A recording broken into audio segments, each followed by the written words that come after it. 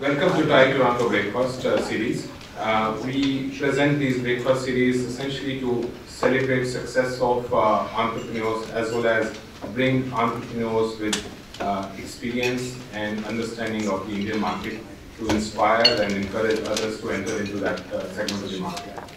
Uh, today we are privileged to have many important um, persons here present with us. I'd like to specifically welcome Dr. Peter Lewis, uh, Assistant Vice President at, uh, of Research at University of Toronto. Uh, he is very much interested in this project and uh, we very much uh, thank you for him to come. Uh, we are uh, missing uh, Minister Harinder Takhar who was also supposed to be present today and also our uh, beloved Consul General Mrs. Preeti Saran. Both were called on some important uh, political issue.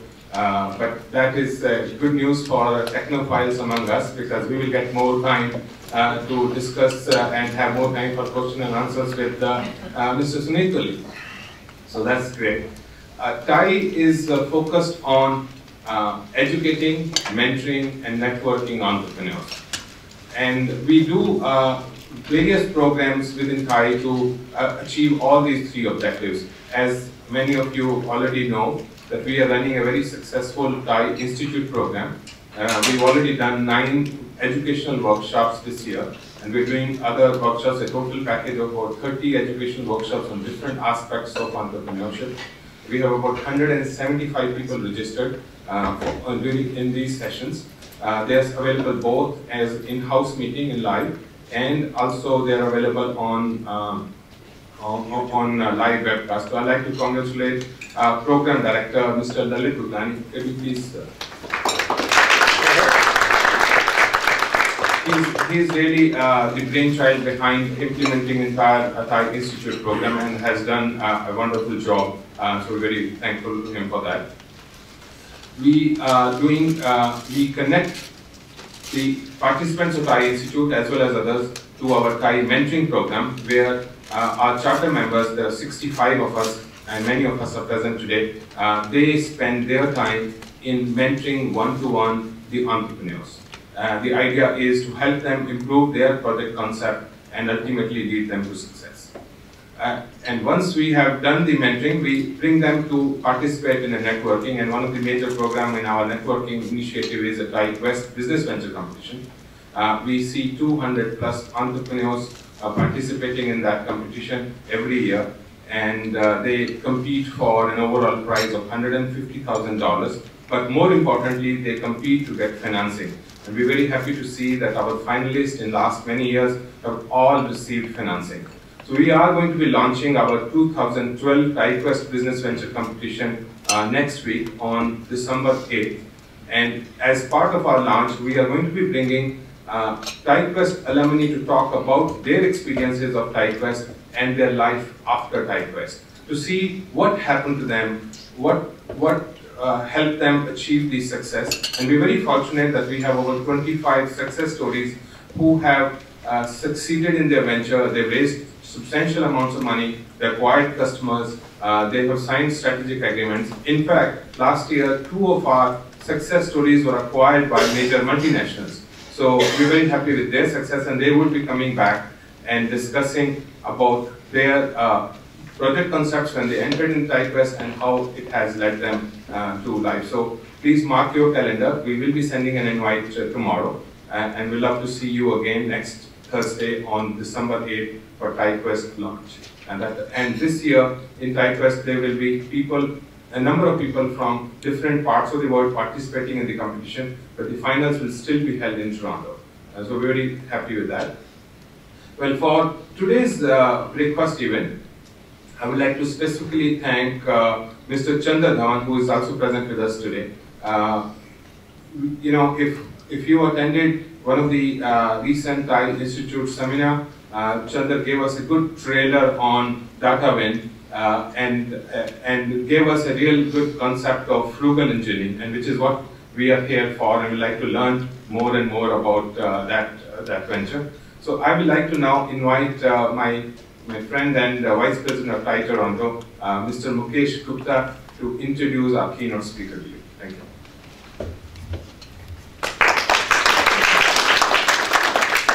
thank you, Surajit. And, and before I let you sit down, uh, help us welcome and let's congratulate Suresh has been nominated to the TIE Global Justice. elected. He's been elected. So, so Toronto now will have a voice in the world, uh, as we have uh, 57 chapters around the uh, globe in 14 countries. So I have a task to introduce uh, Suneet Singh Tuli. His professional bio is obviously available, but what I wanted to really share very, very shortly, because I don't want to take time between you and him, is his personal legacy of entrepreneurship and engineering. And so he has a good fortune and a pedigree of siblings who are fairly good inventors, a series of inventors. And I'm here trying to see that uh, an Alberta inventor with 48 patents issued and approved on various technologies. So this is in his blood. So this is not by an accident.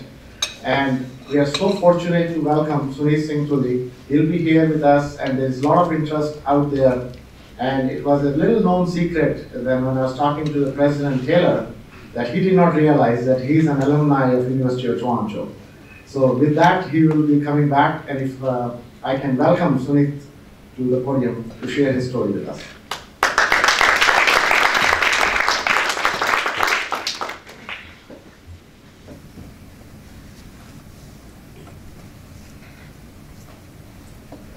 Thank you, Sureshji, Mukeshji. Um, It's a great honor to be here. I I think I first got introduced to TIE probably about 10 or 11 years ago. And I couldn't believe the concept. Entrepreneurs of an Indian origin wanting to help other entrepreneurs seemed like a weird kind of concept. But the, the level of support and the level of networking and the relationships that have been built over those years are, are phenomenal. Um, uh, you know, one of Steve Jobs' um, sort of most famous speeches uh, at a Stanford convocation talked about connecting the dots. Um, I, I think I could write a book on connecting the dots uh, based on based on those years. Um, I want to specifically focus on um, what's received a, a lot of press coverage in India and in other parts of the world over the last uh, couple of months, and that is uh, a project uh, on a tablet that's forecasted to be at $35. And to us, uh, you know, that's sort of the start of what's there. Uh, the opportunity in, in the story to us is, is significantly more than the $35 tablet. And I'd like to talk to you about uh, what makes it a reality and, and uh, the, the overall opportunity. Before I go into it, though, I, I want to mention something about uh, a Canadian entrepreneur going to India and, uh, and sort of the Indian opportunities. My father came here in '79, um, and in those days, uh, Indians that could afford it ended up in the West to, to look at for opportunities in the West. Uh, I grew up in a little town called uh, St. Albert in northern Alberta. Uh, population back then was about 20,000 people. Uh, today in India, I'm dealing with an education services provider that runs 26,000 schools, uh, has 17.5 million students. Um, it, when you think of India, think of whatever number you want to think of as your market opportunity, add a zero to it, and add another zero to it, and then add another zero to it, and, and then and then go to India and discover the opportunity is probably another zero beyond that.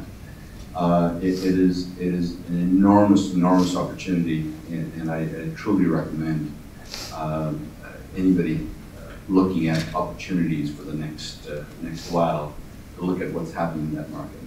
So to me, the story about this tablet is about empowerment, it's about the opportunities and how we arrive there, sort of solutions through, through adversities.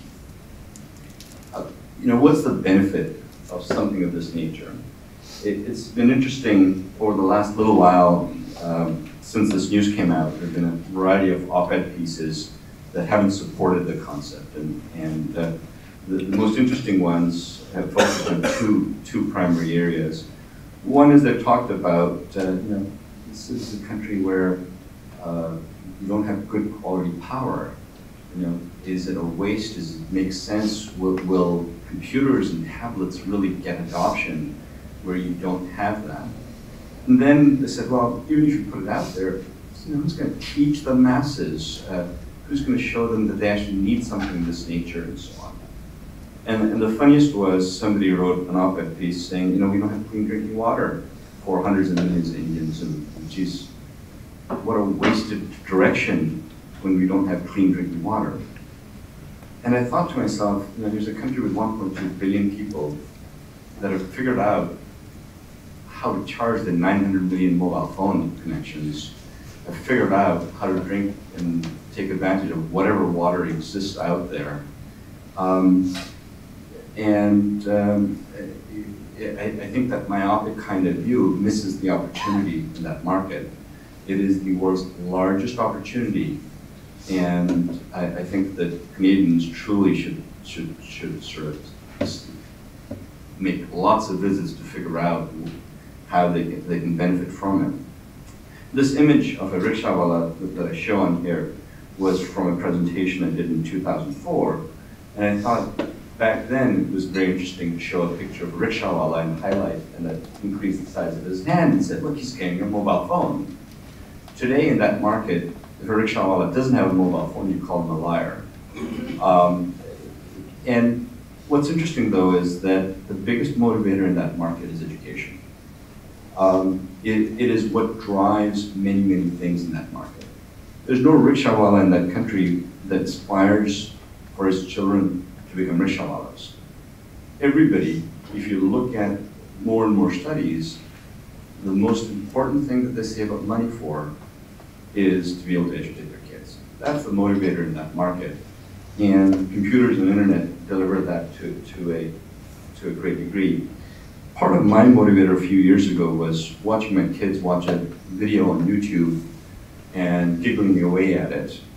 And to me, when I watched that video, actually wasn't funny. I, th I thought it, it, was actually sad. Uh, Indian media has gone into the Indian villages and you know, they quiz Indian teachers to show the quality education that exists in part of these places. So I'll show you part of this clip, but um, uh, to me it wasn't very funny. I, I should have thought about audio ahead of this, right? Um, so in essence, it, it, it, goes on and it, shows this teacher that's uh, um, uh, telling you that Apple is spelled A-P-I-L, uh, tells the kids that, um, that Patna is the capital of India, doesn't know the name of the prime minister and so on. And, and I think that that's sad. Indian parents realize that, that, um, that, that quality education is, is unacceptable. So not spending a lot more time on empowerment, the opportunity that empowers them and their kids to deliver better quality education is the biggest opportunity I believe the world has probably ever seen.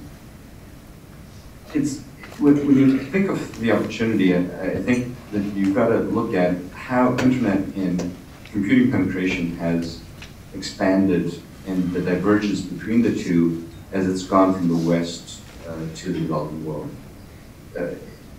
Before sort of 97, 98, you had about the same number of mobile phone users and the same internet users in the world. In that period, as India, Africa, China, Brazil, and other developing countries came on board, uh, the level of mobile phone penetration has grown to 6 billion mobile phone users, and internet penetration has grown to 2 billion users. There's a 4 billion person gap and we believe that the issue of electricity and network access doesn't apply to at least those 4 billion people. And what they've shown is the ability to buy a mobile phone, and the ability to top up a mobile phone. If you can deliver computing and internet access and the price of a mobile phone, we think the opportunity is huge. And that's what our pursuit is.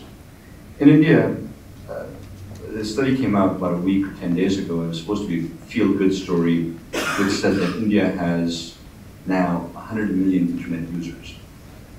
And when you read that story, they called active internet users as those that use it once a month. Went on to say that they categorized something called hyperactive internet users that use it at least every other day. And, and I thought, that's a hyperactive internet user.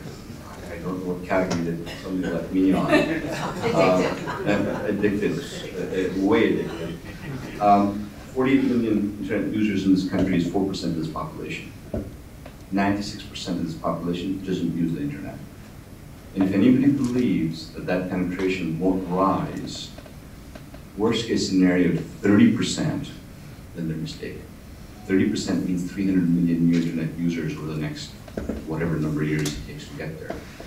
And I think it's going to come faster than people think. It's going to come in such huge bounds that they can't imagine.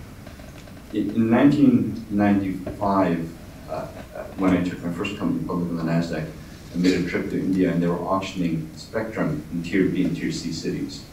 And everybody said to me, it's a waste because nobody's going to use mobile phones in tier B and tier C cities. It's something that the fancy people of Mumbai and Delhi are going to use, and it's something that the West is going to be able to afford. In this country where there's a, what's called a PCO uh, every 50 yards, nobody's going to want or spend on mobile phone. And over the last 15 years, I watched it from the outside, not having bid for any spectrum uh, on, on a market that's grown to 900 million activations um, and active connections and still growing. And it wasn't just in 1995. As recent as the days I used to put up that rickshaw picture in my presentations, India had about 50 million mobile phone users and China had 500 million mobile phone users. And everybody would say, yeah, but, you know, the masses are illiterate. Until we show them how to use a phone, it won't happen. So we, we patronized, you know, the, the whole perception of, of, of the market opportunity was lost to many, many people. And that market has not only grown to such huge levels, half the population of Canada is the amount of activations India does every month, every month. It, it is the biggest market opportunity. Today, India sits at 48 million internet users, China sits at 500 million internet users. And I get the exact same arguments that you used to get years ago and eight years ago, that they won't adopt, they won't go, and won't make sense. Watch. It, it is the biggest market opportunity ever was, and floodgates have just opened. Uh, There are analysts, even in India, that disagree with, with, with me on this. In fact, there was a recent article in the Economic Times that quoted me on market expectations and so on. An industry analyst debunked it and said, well, no. We think the market for tablets in India is between a quarter million to half a million units. And it'll only be attractive to students and youth who are aspiring to buy new products. And the, just a small portion of the market in India that they think that this will apply to. Let me step back and, and, and sort of explain our story and, and how we, we ended up here and what we created. Uh, back in 2000, um, we incorporated Datawind and and we spent a few years just applying for patents. We've now received 18 patents covering, 18 US patents covering about 300 uh, odd claims. And in essence, because of our background in imaging, we had uh, come across and developed technology for delivering the web in low bandwidth networks. And we always felt that mobile networks will have less bandwidth and less processing power than computers that we could plug into a wall and hook onto a fiber optic line and so on. And that applies more so in India than anywhere else, which, uh, you know, a country with the most congested networks that you, can imagine. And the result of this technology, in essence, was it shifted the burden of memory and processing power from client devices to backend servers. It not only supported a lower cost, uh, of uh, reduced the physical size of the page, the CNN page can be delivered in about 20 kilobytes of data consumption instead of a megabyte of data consumption, which allows a faster throughput, but lowers the cost of, uh, of that data. But it shifts the burden of processing power to the back end, allowing us to create lower cost devices. And it was with that core technology that we felt that going after sort of the entry level customer was where we where we needed to be. While everybody wants to compete with iPad, with, with, with the Apple iPad and, and, and Apple's customer, uh, we felt that uh, it was worth going after the customer that, that, that nobody wants to approach. Uh, investors and, and VCs would, would look at me and think I'm the strangest person they've ever seen. Uh, you want to, are you a hardware company? Are you a software company? Are you a service company? And when my answer would be yes, they, they think that I'm being cheeky. Um, but you know, making low-cost hardware with low margins to a customer that can't afford to pay just doesn't seem like a great business opportunity. But it's a four billion person business opportunity that nobody wants to address. Clayton Christensen, in, in his Innovator's Dilemma, talks about those ignored opportunities and what gives innovation the real opportunity. And this is, this is exactly a case study, in my opinion, to, to what he talks about. So this technology allows us to create very low-cost devices and deliver the web on, uh, on, on, on microprocessors that, that uh, the average microwave oven wouldn't use. Um, and deliver a, a, a, very, very good experience on that.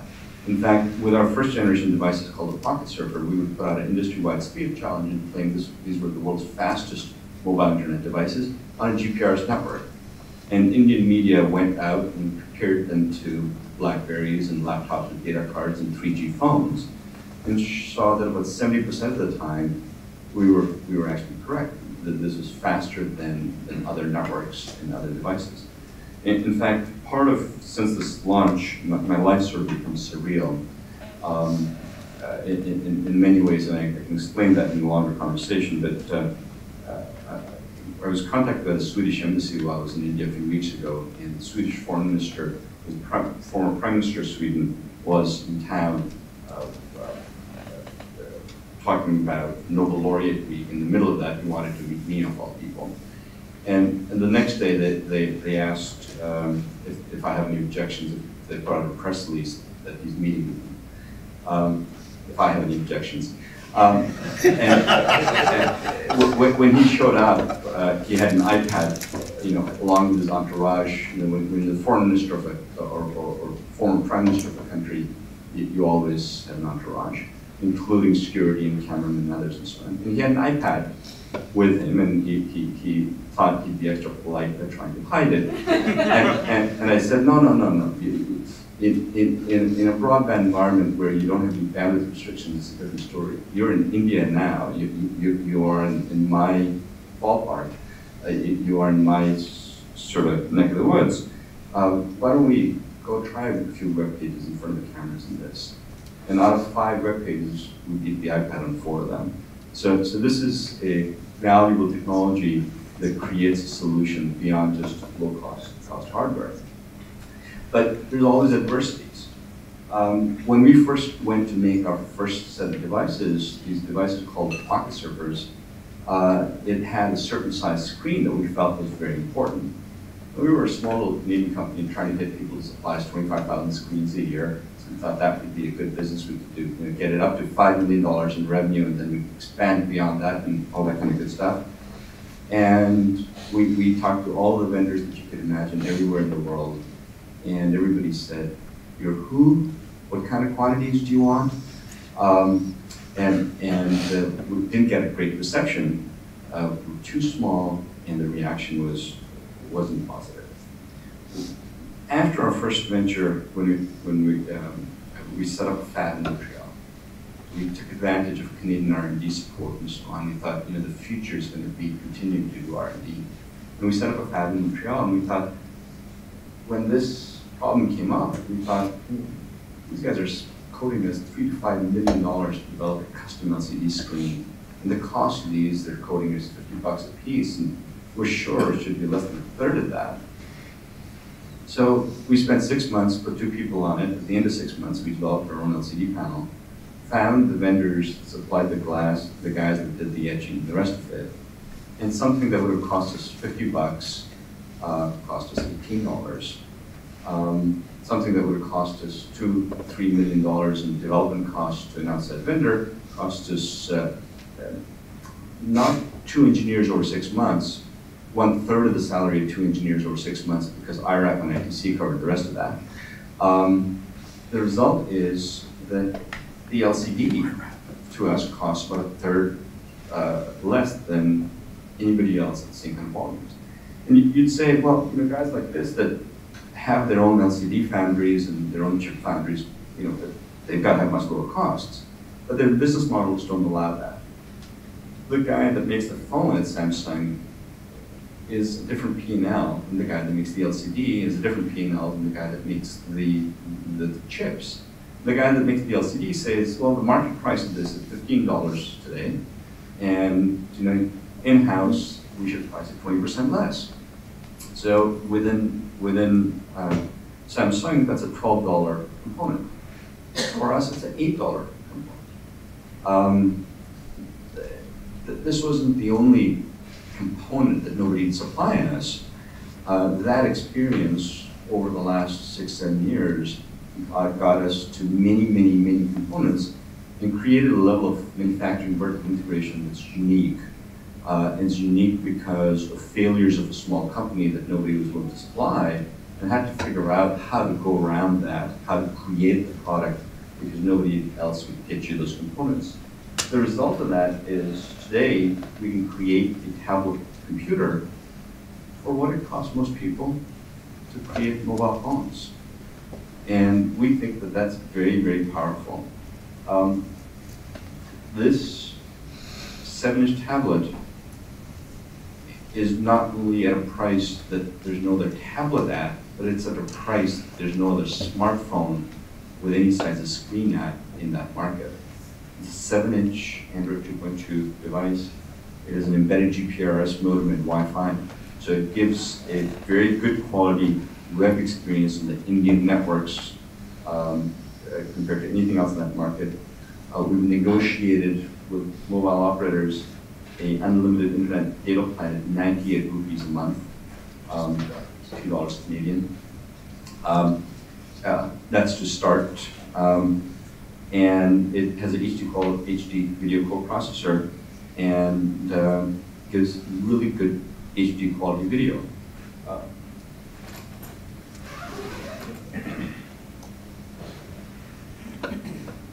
we, you also have to think from an Indian market perspective, certain other things. How Indians share content today is off of pen drive. Uh, First time I saw a taxi driver with a pen drive, I was very impressed. I thought, hey, this guy uses a computer. My customer, and so I, so I engaged in conversation with him, and I said, so, you know, how often do you use your computer, and what do you pay for internet access? And he looked at me a little bewildered and said, "Mm, I don't use a computer. I said, well, what's the pen drive for? Well, for 30 rupees, I get 100 songs. For 40 rupees, I get any movie I want. I plug it in to the car radio and the little DVD player in the car that, uh, in the taxi that is driving around, and he watches that. That's how Indians share content uh, in this environment. So having a full-size USB port became very important to us, which no other tablet in the market does. Uh, You know, it's something you don't think of unless you sit in India and you discover that uh, the taxi drivers have pen drives. They have a way of sharing content that's very powerful.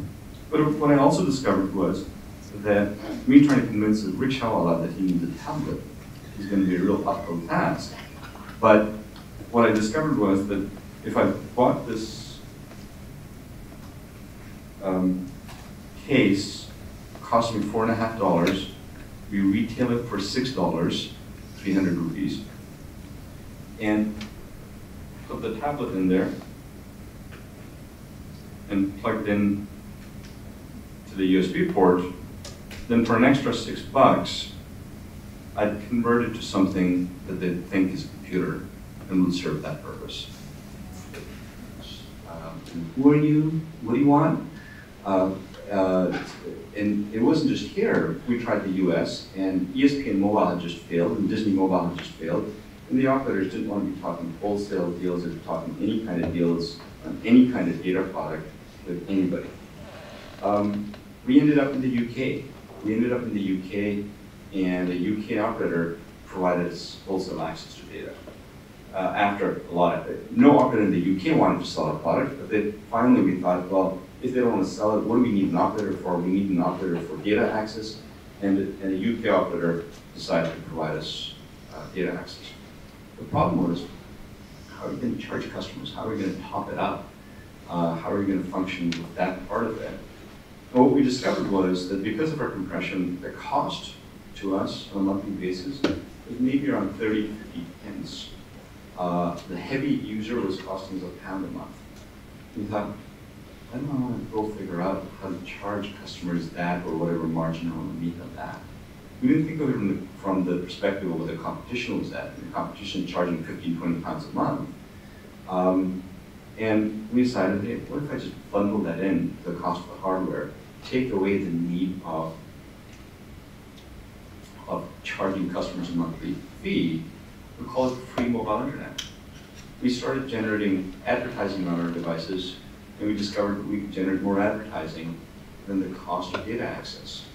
So in the UK, with very little advertising, with very little external funding, we went in three years from zero to 150,000 subscribers, um, offering free mobile internet on our netbooks and our pocket devices and things of that nature.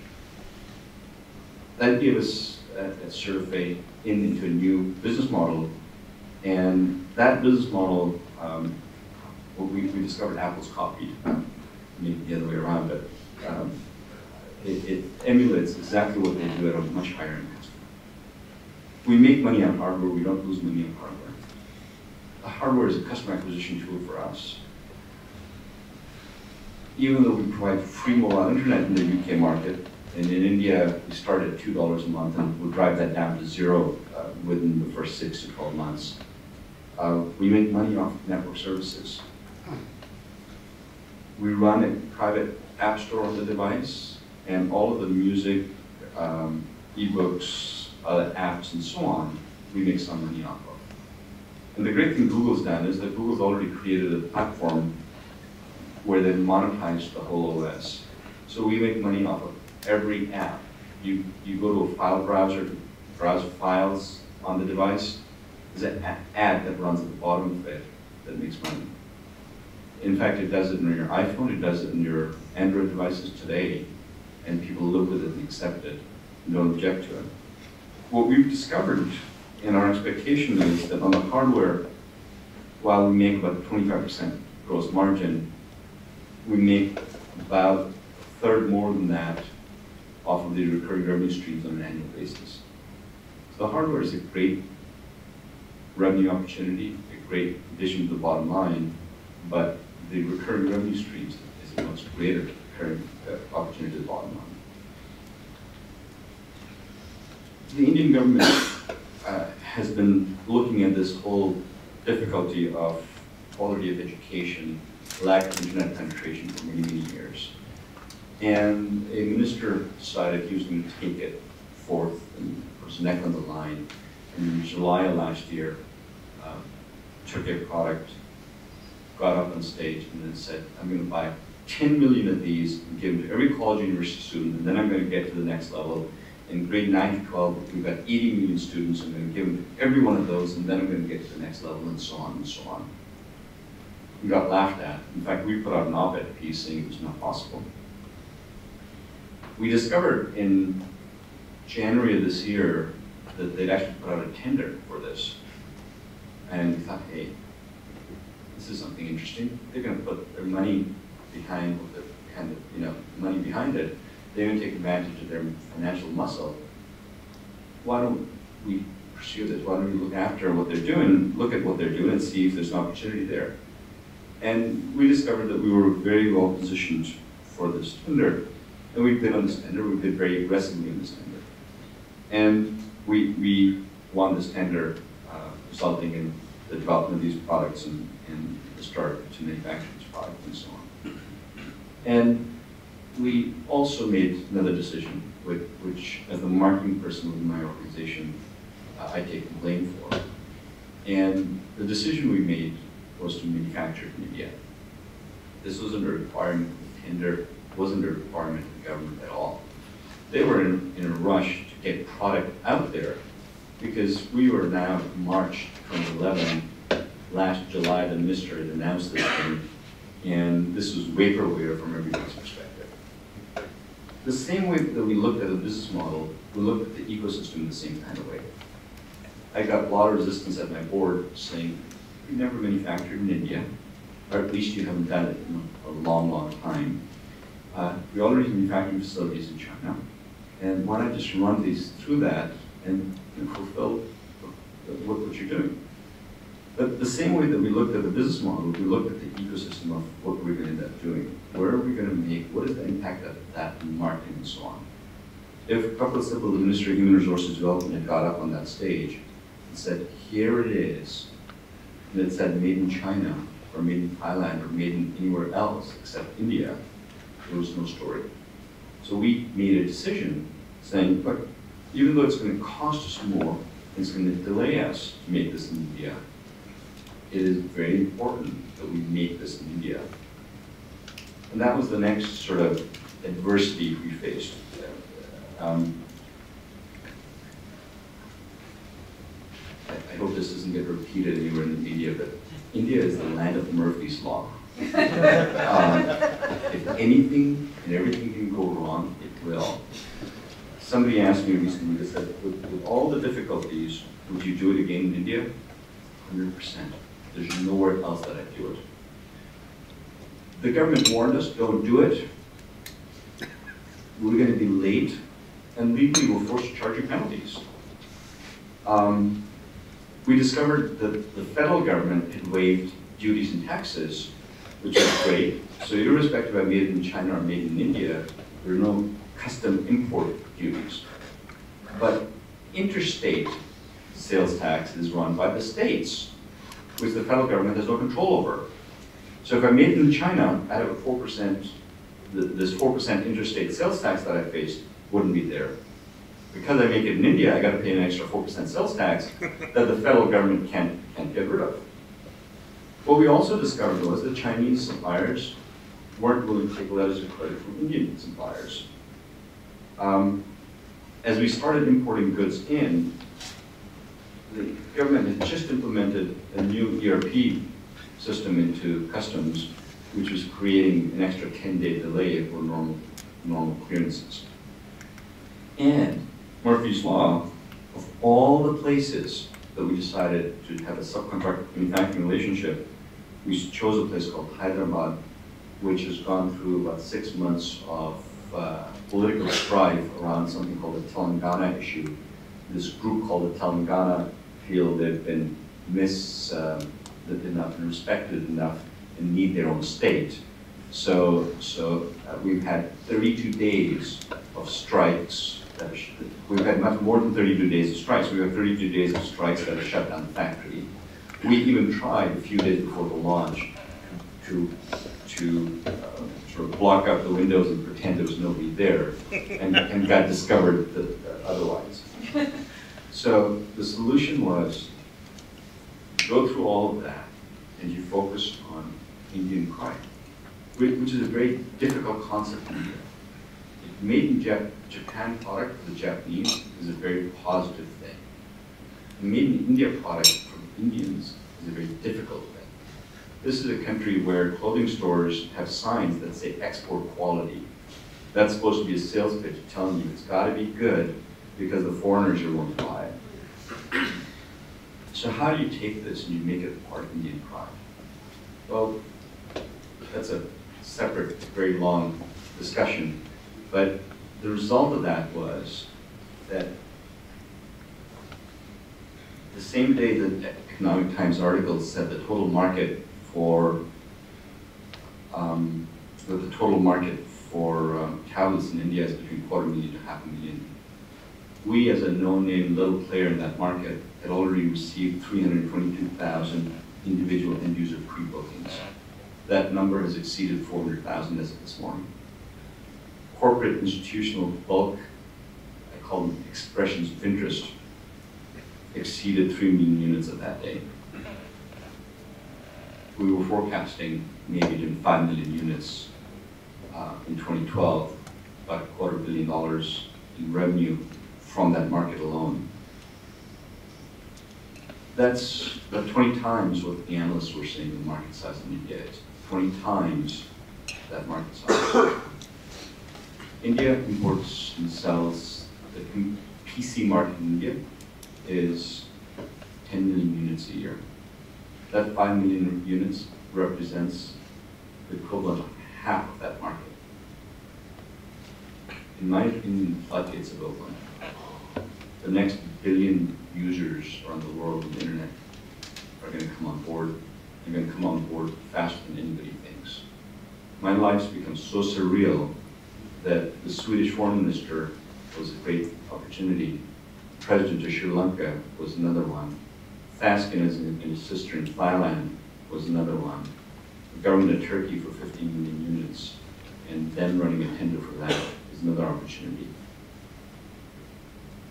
When I look at each of these countries where Panama at three and a half million population has decided they're gonna put out a million tablets, and I look at the number of opportunities that exist out there.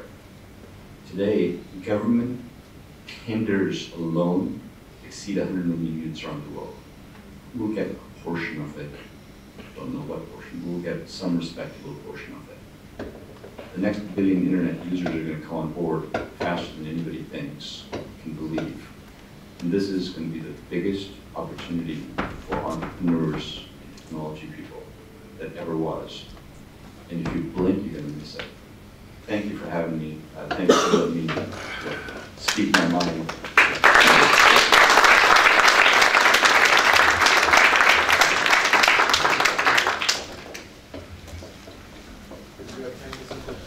I have as much time as anybody needs. Uh, I was the one that was late, so, so, so I will not leave until, until, uh, until you guys actually want to leave.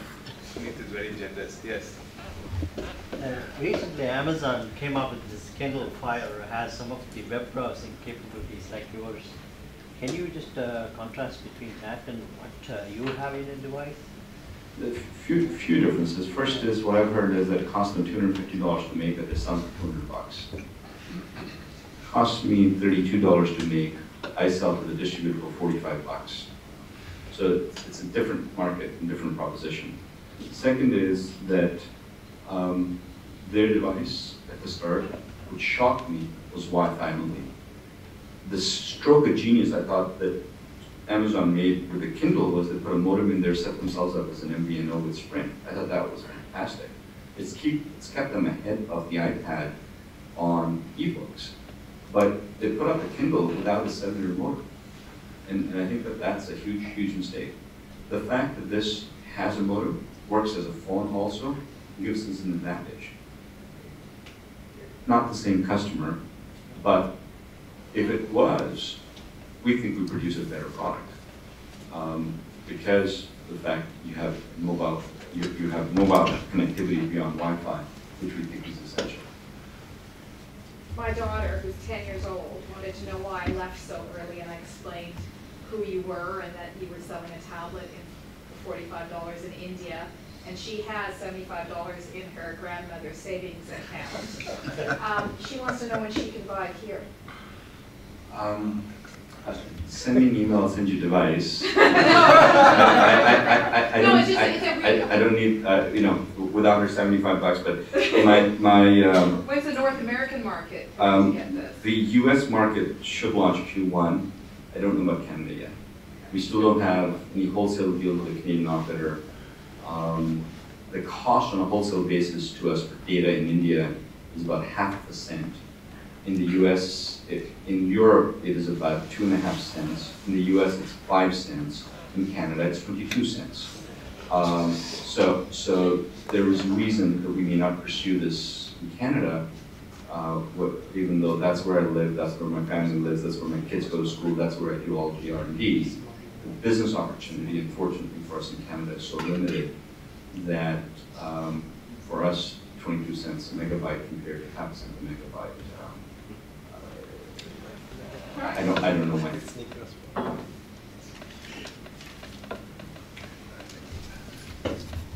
Yes, um, congratulations, this is an amazing story.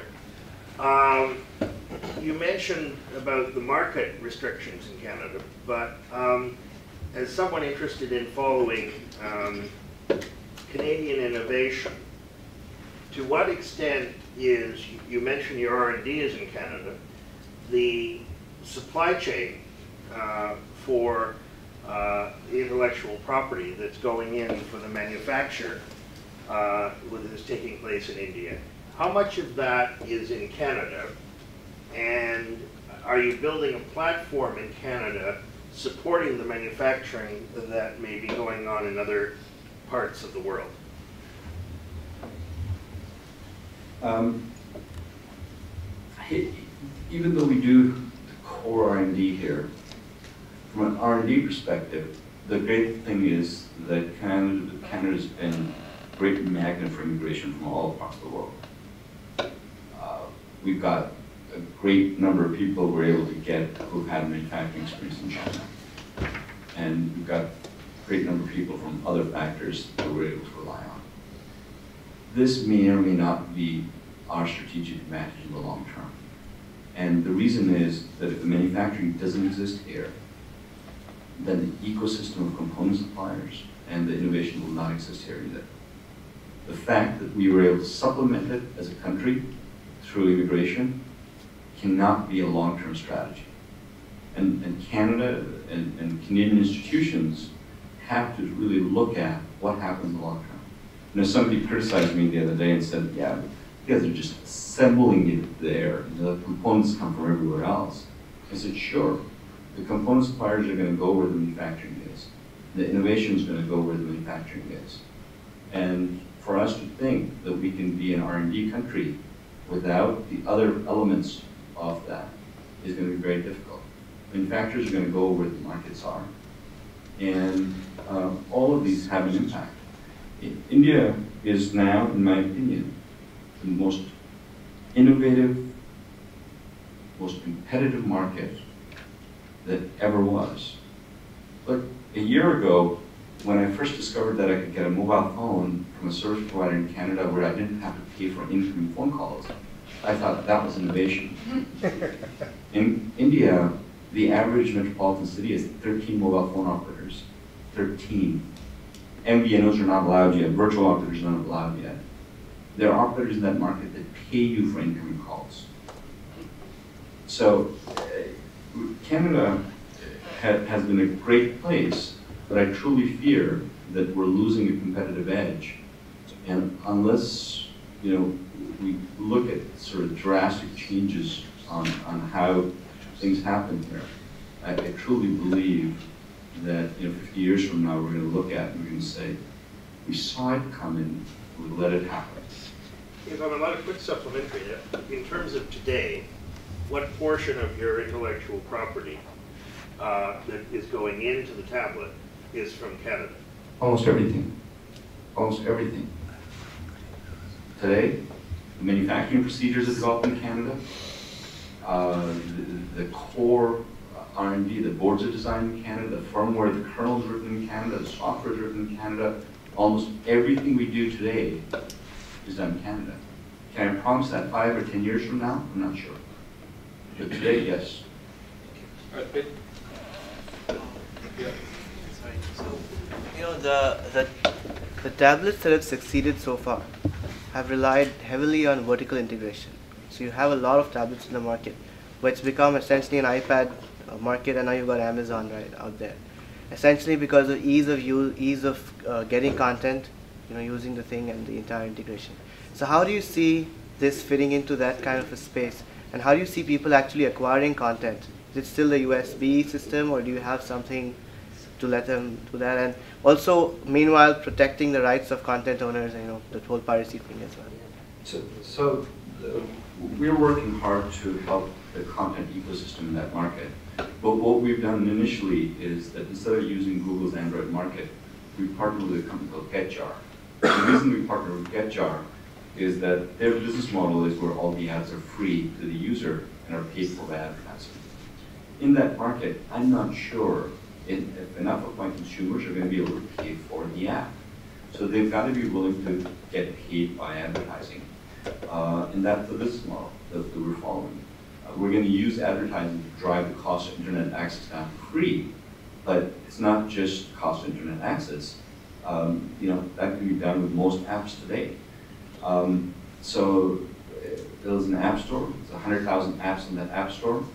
Um, we're going to also support with other apps. Uh, we just launched a contest and a scholarship for students in India to develop apps and we'll burn them on these devices um, and they'll generate money off of advertising. Um, so that ecosystem will evolve very, very fast. Um, and, and, and I'll tell you, I get literally thousands of, of app ideas and, and people that have created apps and so on uh, on a regular basis. It's just, uh, you get a lot of things coming. Alex? Hi. Uh, a couple of points really. One is that uh, we're in the business of uh, market entry strategies for companies from Canada and the US expanding to India and the Middle East. And a lot of the times we, we keep telling them that India's millions of many consumers. And I feel that your story and your message uh, can be taken to Canadian businesses and would be a very, very strong persuader to make them look at the Indian market as a potential market to expand into. And in that, your role is perhaps larger than that of just marketing a $35 tablet story. I believe we can actually market India itself to Canadian and US businessmen as we speak. But my, the corollary to uh, your story here is, is possibly the, the one line that you had about the source of Indian pride. And uh, I was wondering whether uh, you've, you've had a chance to examine the reasons why Nano as, as a product, as a brand, has not perhaps succeeded as well as it should have, and the learnings coming out, of, out from that for your product and your aspirations for actually taking it across to the millions of consumers out there and not just you know limiting yourself to government supplies of free tablets to schools. You know that source of indian pride is is a key key part there. So, so let, let, let me uh, address sort of the, the difference between the nano and this, right? Um, the positioning is very, very different. The rickshawala doesn't believe that if you bought a nano, the quality of living standards will change. The rickshawala believes that if you bought one of these and his kids were able to watch Khan Academy videos on it, thousands and thousands of fantastic videos that are available for free, that that would improve the quality of. Um, there's also pricing issues in these things. What's happened with the Nano is that uh, it's priced in what I like to call pricing nowhere land. Today, for about 20% more, 30% more, you can buy a used car that you'd feel a lot prouder in than you'd feel in a Nano. For about a third of the price of a Nano, you can buy a scooter. And the problem is that the guy who can afford a scooter, this is still too expensive for. And this doesn't add the prestige that's necessary. If the Nano continued to come down in price and came down to a price that was competitive with the price of the scooter, the Nano would do really, really, really well. It's caught in the middle of this where the customer that can afford it spends a little bit more and gets a used car that's a lot larger. And the customer that's, that has to stretch to get there says, well, it doesn't add any prestige to what I'm doing and stays with the scooter. And that's the difficulty with how that product's positioned. It needs to come down significantly more in price. What's happened here for this product is that it's priced at half or a third of what a smartphone costs. It's priced at a fifth of what a, a tablet computer uh, uh, costs, you know, a seventh or eighth of what a laptop costs. So no, nobody that can afford to get this can say, well, for 20% more, I can get something a lot better, or for half the price, I can get by with what I have now. There's nothing half the price that they can get by with, there's nothing 30, 40, 50% more than the price that will serve that need. So it, it is such a, in my opinion, fantastic price point that, uh, you know, when I say Indian pride, when people recognize me in an Indian airport or Indian restaurant or a coffee shop and pat me on the back, uh, my responsibility in this has become way more than profit. uh, it- it's, it's an obligation now to fulfill and do this and do this well and do this the best we can. We we get emails from people saying, you know, I'm a doctor somewhere in Kerala and the local community, village school doesn't have any resources. I'd like to buy 20 devices to donate. You know, and I thought to myself, how powerful is that? When was the last time cheap device of all things inspired people to do good? So, so in my opinion, uh, the way that it's ignited Indian pride is very, very powerful. We have two if last all your, sorry, if your intellectual uh, uh, property is all manufactured out of Canada, how do you keep the cost down the way you do? I mean, you've obviously tapped the so-called Indian aspiration to be, you know, where you are with the product and to have this big wide open market there, which is enormous. But how do you actually present that cost when your costs in Canada must be way more than they would be if you manufactured Uh, back it- home? it- To do R and D, in fact, Canada is still the most competitive place to do R and D. The difficulty is we lost our manufacturing industries, we lost many of the things that, that will sort of make it difficult in the long term, I think.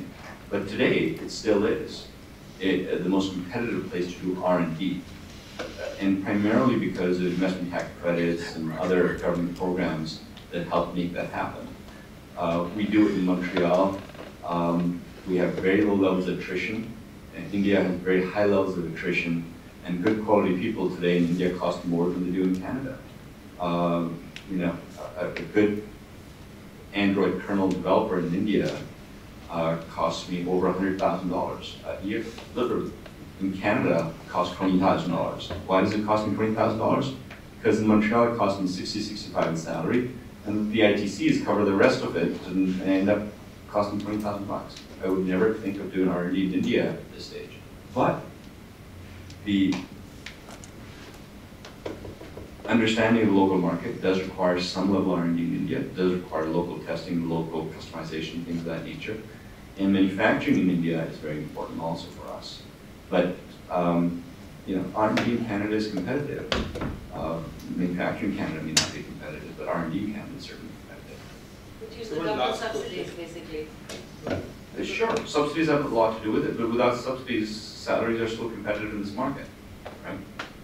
Couple of last question from Sachin. Um, I think, one, it's very disappointing to the entire room that you have been able to launch in Canada. And, Not uh, just my daughter. And not just your, and my daughters also, because I'd love to buy it for them, they're three, four years old, but this is cheap entry point for them to, to get. But anyways, uh, I can try and see if we can help in any way, uh, meeting with Ed Rogers and, and Crystal and stuff, and try and figure out something, if that's. That would be uh, cool. That, that, that would help, absolutely, it's, it's available and we'll do it for free. And, uh, uh, just, can you talk about a little bit about your financing and how you've done that? Because I, you talked about credits and stuff, but do you have to go out to you know, angel investors or is that Sure. a big part of what This kind of a venture doesn't get venture capital funding very easily. It's not an enterprise software arbitrage game. Th- th- This is a B2C hardware thing. Um, They look at us and say, you can't make up your mind if you're a software company, hardware company, or service company. Um, And, uh, you know, you're going after a market that uh, it's it's just going to be so, so difficult. Um, so we relied primarily on high net worth individuals. The reason we actually became a UK entity, we're a Canadian company doing R&D in Canada. We found a wholesale uh, network operator providing us wholesale data in the UK. And we raised funding in the UK because there's a program in the UK called the EIS Enterprise Investment Scheme, which gives very significant advantages to individual investors investing in technology companies. So the capital gains rate, for example, uh, altogether. There's some other benefits around it. So we raised funding in the UK through a variety of different, different investors. Um, and that's how we funded the company. We, in this kind of a business, um, cost of inventory is the biggest component of cost. And in our business model, what we've done is we've shifted that onto the channel. So give the channel better margin than what they generally get. Uh, and in return, they put up letters of credit. We transfer those to a factory, and factory makes it and delivers it. So to a great degree, we work as a virtual organization where we do what is the core benefit of what we can deliver, which is do R&D maybe do marketing to some degree, but we rely on distribution partners for our letters of credit, which finances inventory. Um, and that's it. Great. Thank you very much. uh,